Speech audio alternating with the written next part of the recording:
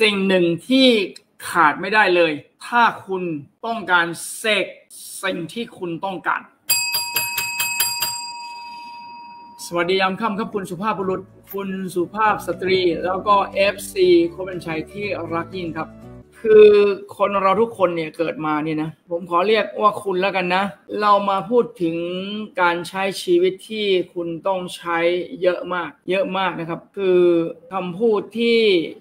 คุยกับตัวเอง อันนี้ถือว่ามีความสำคัญมากนะครับ ผมขอบอกคุณก่อนนะครับว่าทุกคนไลน์นี้นะครับ ทุกคนนะครับเกิดมานะครับ เพื่อปรับพลังงาน ถ้าถ้าไลน์นี้คุณจำประโยคนี้ได้นะครับ มันจะช่วยคุณอย่างยิ่ง ผมยกตัวอย่างเช่น เวลาที่คุณอาจจะไม่สบาย เวลาที่คุณเจออุปสรรค หรือคุณกำลังเจอสถานการณ์ชีวิต อะไรก็ตามแต่นะครับ ในด้านทางกายภาพ เช่น สุขภาพ ด้านความรักความสัมพันธ์นะครับ บางคนก็อาจกำกำลังจะรู้สึกว่ามันเจ็บปวด หรือคุณอาจจะรู้สึกโกรธนะครับ ตอนที่เรามีรายได้น้อยแล้วเราก็กุ้มใจ ไม่รู้จะทำยังไงดีนะครับ เวลาที่เราผิดหวัง เราล้มเหลว เราได้สิ่งที่ไม่ชอบ เรารู้สึกว่าเรา ไม่มีความสุขหรือว่าเราเป็นทุกข์ใจมาก จริง ๆ แล้วคำตอบที่ใหญ่ที่สุดคือ คุณเกิดมาเพื่อปรับพลังงานคุณให้ดีขึ้น เมื่อคุณอยากได้อะไรคุณต้องปรับพลังงานของคุณให้เข้าหามันตัวคุณเนี่ยนะครับทำอะไรบ้างครับ คิดใช่ไหมครับกำลังมีอารมณ์อะไรบางอย่างกำลังทำอะไรบางอย่างใช่ไหมครับกำลังจินตนาการนะครับ จินตนาการ หรือกำลังนะครับ นึกอะไรบางอย่างกำลังนะครับ พูดในใจอะไรบางอย่าง เพราะฉะนั้นสิ่งเหล่านี้ส่วนใหญ่แล้วเนี่ยคุณไม่เคยเข้าใจว่าคุณสามารถปรับพลังงานของพวกมันได้ ยกตัวอย่างเวลาที่เราพูดว่าฉันไม่มีเงินเห็นไหมประโยคเนี้ยสังเกตไหมครับ ประโยคเนี้ยเป็นประโยคที่ไม่ต้องพูดออกมา เพราะว่าถ้าเราพูดมันออกมาเมื่อไหร่ คุณปรับพลังงานของคุณนั้นให้นะออกห่างจากเงินมากขึ้น แล้วก็วิ่งหนีความอุดมสมบูรณ์นะครับ แล้วก็วิ่งเข้าหาความขาดแคลนลองลองคิดดูว่ามนุษย์ทุกคนเนี่ยแค่เรียนรู้ว่าต้องพูดยังไง พูดให้เป็นเสียก่อน อันนี้คือเบสิกแล้วก็สำคัญยกตัวอย่างให้คุณดูนะครับ ตอนเราเป็นนักเรียนนะครับ เราต้องไปสอบบางวิชาใช่ไหมเราก็พูดว่าเออฉัน ฉันกลัวจะได้ F วิชานี้ แม้ว่าคุณจะรู้สึกอย่างนั้นก็ตาม แต่ว่าคุณลองนึกถึงประโยคนี้ นักเรียนคนนี้กำลัง ปรับพลังงานตัวเองนะครับเข้าหา F มากขึ้นนะครับ หน้าที่ของเขาถ้าเขาเรียนรู้เกี่ยวกับภาษาเขาจะต้องบอกว่าตรงนี้นะครับพอพูดปั๊บนะครับประโยคต่อมาเขาต้องพูดว่ายกเลิก แล้วเขาก็ต้องพูดใหม่ว่า ฉันรู้ว่าฉันจะ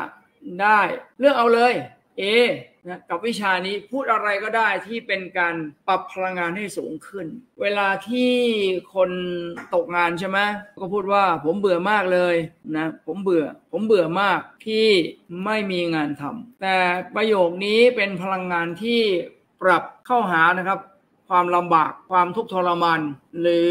จิตใจที่ย่ำแย่มากขึ้นถูกไหมมันต้องฝืนมากเลยเนาะในการที่จะพูดว่าผมตอนนี้มันมันเหมือนการหลอกลวงแต่มันจำเป็นนะครับ มันจำเป็นนะครับ ผมตอนนี้กำลังทำงานที่สนุกมาก โอเคมันจำเป็นที่จะต้องคุณจะต้องตอบโต้ คุณจะต้องรู้ตัวก่อนว่า เดิมทีคุณปรับพลังงานเข้าหาความเป็นลบอยู่ใช่ไหม ยกตัวอย่างเรื่องนี้นะครับ ผมจะให้คุณดูภาพอีกอันนะครับผมจะเขียนบอร์ดอีกครั้งนะครับ คุณลองดูคำนี้นะครับ โอเค ทุกคนดูคำนี้นะครับบอกให้เป็นข้อเท็จจริงด้วย ฟังดีๆนะครับว่า สมมติว่าคุณคุณ A นะครับเอาฝรั่งแล้วกันนะครับ คุณ A เขาพูดว่าฉันยากจน คุณรู้ว่าเขาทำอะไร เขานะครับกำลังระบุตัวตนกับความ ยากจน เมื่อเขาพูดว่า ผมนะ ผมแข็งแรง คนอีกคนหนึ่งเขากำลังระบุระบุตัวตนกับความแข็งแรง เวลาที่คุณพูดว่า ฉันโชคดี คนคนนี้กำลังระบุตัวตนกับความโชคดี นี่คือภาษาที่กำลังอธิบายว่าคนคนหนึ่ง identify himself with what เขากำลังระบุตัวตนของเขากับอะไร และเมื่อเขาระบุตัวตนกับ negativity ความเป็นลบเขากำลังปรับพลังงานของเขาให้ต่ำลงอย่างมาก และเขาก็ดึงดูดแต่สิ่งที่ไม่ดีเป็นปัญหาความเดือดร้อน คุณลองคิดดูนะ คุณพูดหนึ่งประโยคคำถามคือ คุณระบุตัวตนกับอะไร คุณพูดว่าอ๋อฉันไม่มีปัญญาซื้อมันหรอก คุณระบุตัวตนกับนะความสามารถของคุณว่า เช่นคุณบอกว่าอ๋อ ฉันไร้ความสามารถ คุณระบุตัวตนกับความไร้นะความไม่มีความสามารถ คุณพูดว่าเออฉันดีไม่พอ ฉันไม่คู่ควร คุณระบุตัวตนกับมันทำไม พอคุณระบุตัวตนกับมันปั๊บแล้วคุณก็เชื่อไปตามนั้น ฉันอ่อนเลข คุณระบุตัวตน ว่าคุณอ่อนเลขแล้วคุณก็เชื่อไปตามนั้น แล้วคุณก็มีพฤติกรรมอ่อนเลขตลอดเวลาหรือวิ่งหนีมัน เนี่ยคือลักษณะที่คำถามจริง ๆ ก็คือว่าการปรับพลังงานนั้นทำไมนะครับทำไมทำไมอ๋อทำไมไม่ระบุตัวตนนะครับ ตัวตนนะครับกับสิ่งที่เป็นบวกแล้วครับ positivity นะครับก็คือฉันทำได้ ฉันแข็งแรง ฉันสุขภาพดีมาก ฉันเป็นเศรษฐี ฉันถูกลอตเตอรี่ นะสามงวดติดต่อกัน อะไรก็ได้ที่มันต้องการ ฉันนะได้รับพรในเรื่องความรักระบุตัวตนเข้าไป ฉันทำงานเก่งมาก ฉันกำลังมีรายได้มากขึ้นทุกเดือน หรือคุณระบุว่า I attract money ฉันดึงดูดเงินคุณระบุตัวตนกับคุณภาพดีๆ option นะครับ คุณอาจจะจุดเทียนนะครับก็ได้นะครับ ไม่จุดก็ได้นะครับอาจจะนะครับ คุณอาจจะจุดเทียนก็ได้ และนี่ผมใช้พิธีกรรมเล็ก ๆ คุณนะครับ พิธีกรรมเล็ก ๆ นะครับ จะมีช่วงหนึ่งที่คุณช่วงหลับตาใช่ไหมครับ หลับตา แล้วก็จะมีช่วงลืมตา ช่วงลืมตานี่ง่ายมากนะครับ ถ้าคุณจุดเทียนนะครับ ลืมตานะครับ ก็ช่วยมองไปที่เทียนสักแป๊บหนึ่งนะครับ มองไปที่เปลวเทียนสัก 15 วินาทีก็ยังดีนะครับ แค่มองเปลวเทียนเฉยๆนะครับ แล้วก็จะมีช่วงหลับตา ช่วงหลับตาเนี่ยคุณก็จะทำสมาธินะครับ ผมจะให้มนตราคุณนะครับ นี่เป็นภาษานะครับ สมมุติว่าคุณมีกระดาษใบนะครับ คุณเขียนลงไปนะครับ ว่าคุณขอเงินสักห้าหมื่นบาทนะครับ เพื่อให้ตรงนี้นะครับมันชัดเจนนะครับว่าคุณอยากจะขอเงินนะครับ คุณอาจจะนั่งหลับตานะครับ แล้วคุณก็พูดช้าๆนะครับ ว่าในนามของการปรากฏตัวที่ทรงอำนาจชั้นเชื้อเชิญนะครับจักรวาลอันศักดิ์สิทธิ์โปรดประทานเงินห้าหมื่นบาทให้ฉัน เพื่อนะครับความดีของฉัน และคนทั้งปวง ลงท้ายนะครับ so be it นะครับ จงเป็นเช่นนั้นนะครับ โอเค สมมติว่าคุณคุณแค่ทำให้จิตของคุณนั้นมีสมาธิแล้วก็จิตนิ่งมีความตั้งมั่นนะครับ คุณแค่หาที่แล้วคุณก็แรกๆคุณก็ลืมตาอ่านก่อนนะครับ ในนามของการปรากฏตัวที่ทรงอำนาจ ฉันเชื้อเชิญจักรวาลอันศักดิ์สิทธิ์โปรดประทานเงินห้าหมื่นบาทให้ฉัน เพื่อความดีของฉันและคนทั้งปวง so be it คุณลืมตาขึ้นมองเทียนสักสิบห้าวินาทีนะครับ เทียนนะครับ จะ resonate นะครับมาที่ตรงนะครับ the third eye ของคุณนะครับ คุณจะรู้สึกเสียวตรงนี้เล็กๆน้อยๆนะครับ มองไปที่เทียนถ้าคุณจุดได้นะครับ แล้วคุณก็หลับตาลงนะครับ แล้วคุณก็ ถ้าคุณยังจำไม่ได้ก็ท่องให้จำให้ได้ก่อน คุณก็ทำอย่างนี้นะครับ อย่างน้อยนะครับ ท่องไปนะครับประมาณสักสามรอบนะครับสามรอบนะครับ แล้วคุณทำมันทั้งหมด 7 วันทำทุกวันเลย คุณเชื่อไหมว่าพลังการสื่อสารของคุณ ภาษาของคุณ มันจะทำอะไรครับ มันจะไปปรับพลังงานนะครับ ทั้งหมดของตัวคุณให้สูงขึ้นแล้วเริ่มสั่นพ้องนะครับ กับ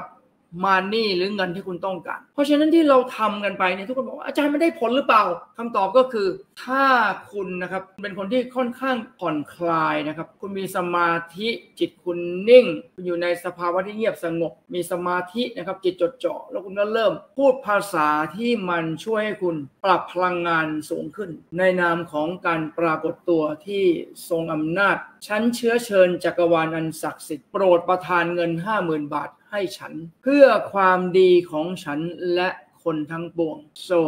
be it แล้วคุณก็นะครับคล้ายๆนั่งสมาธิหลับตาพูดนะครับหลับตาแล้วก็พูด แล้วคุณก็ลืมตาดูเปลวเทียนสักครู่หนึ่งนะครับให้เปลวเทียนนะครับส่องมาที่หน้าผากของคุณ แล้วคุณก็หลับตาพูดคุณอาจจะพูด 3 รอบนะครับ5รอบ 7 รอบหรือ 9 รอบพยายามเอาเป็นเลขคี่ไว้นะครับเป็นเลขคี่ไว้ แล้วก็ออกจากสมาธิแล้วก็กลับมานะครับกลับมาปรับพลังงานไปเรื่อยๆ คุณลองคิดดูว่าถ้าเกิดว่าคุณทำวันที่หนึ่งนะครับคุณอาจจะบอกอืมมันคงเฉยๆมั้ง แต่ภาษาคุณมันต้องมีอำนาจอะไรบางอย่าง คุณทำวันที่สองทำวันที่สามคุณจะพบว่าคุณปรับพลังงานไปทุกวันเลย ปรับพลังงานไปเรื่อยๆ ปรับพลังงานไปเรื่อยๆ เชื่อไหมว่าคุณจะแปลกใจที่ตัวตนของคุณนั้นดึงดูดเงินก้อนนั้น หรือมากกว่านั้นนะครับ หรือมากกว่านั้น แต่ถ้าเกิดว่าคุณอยากจะเขียนให้ดีกว่านั้นอีกนะครับ คุณอาจจะเขียนกระดาษที่ดีกว่านั้นอีกหน่อยนะครับ เช่นคุณอาจจะเขียนนะครับเป็นชื่อคุณนะครับ แล้วก็ตัวเลขเงินที่คุณต้องการให้จักรวาลประทานนะครับ แล้วเพื่อให้แน่ใจนะครับว่าเงินก้อนนี้นะครับจะเป็นเงินที่คุณได้เพิ่มมาจริง ๆ นะครับใช้คำว่า extra ลงไปนะครับ ที่แปลว่าคุณเคยได้อยู่แล้วเท่าไหร่ไม่นับต้องได้มากกว่านั้นอีก ห้าหมื่นบาท ถ้าเดือนหนึ่งคุณเคยได้สามหมื่นนะครับ คุณต้องได้เป็นกลายเป็นแปดหมื่นนะครับ คุณต้องเพิ่มจากที่คุณเคยมีอยู่แล้ว อันนั้นได้ฟรีอยู่แล้วเพราะคุณมีอยู่แล้วทำอย่างนี้ไป นี่ก็เป็นลักษณะ